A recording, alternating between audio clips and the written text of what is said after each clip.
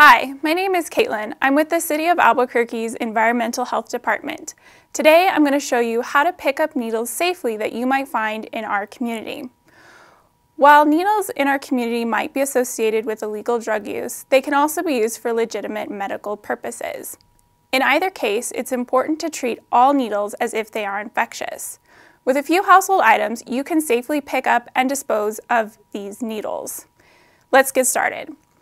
Before we begin, you're going to want to collect the items that you will need in order to safely pick up these needles. This includes a container, preferably a hard plastic container. Uh, ones such as glass containers um, might shatter when thrown in the garbage, so don't use glass. Also, containers that are easily compressible will allow the needles to poke through. You also don't want to use containers that have a large opening, such as this, because the needles might poke you as well.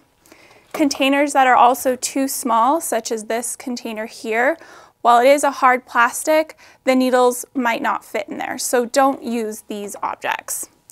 What you're going to want is something that is hard plastic, such as this bottle here, or a bleach or detergent bottle. You can also use a sharps container if you have one available. You're also going to want a pair of tongs. These ones are great because they have a silicone tip, will add some extra grip strength when picking up the needle.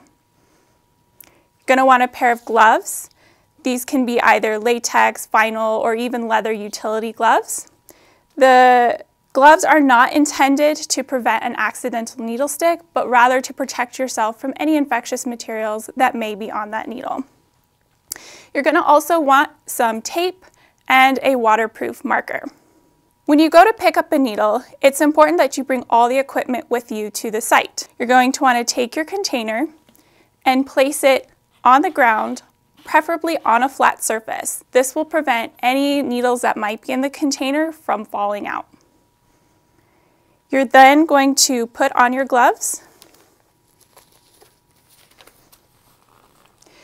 Using your tongs, you're going to pick up the needles making sure that the tip of the needle is down and away from you. And then just simply drop it into the container. Continue to pick up all of the other materials, um, including any caps or any other objects that are nearby.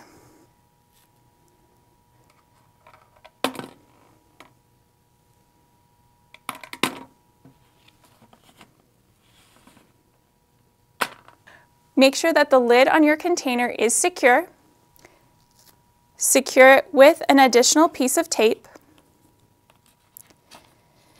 And then using your waterproof marker, write on the container, sharps do not recycle.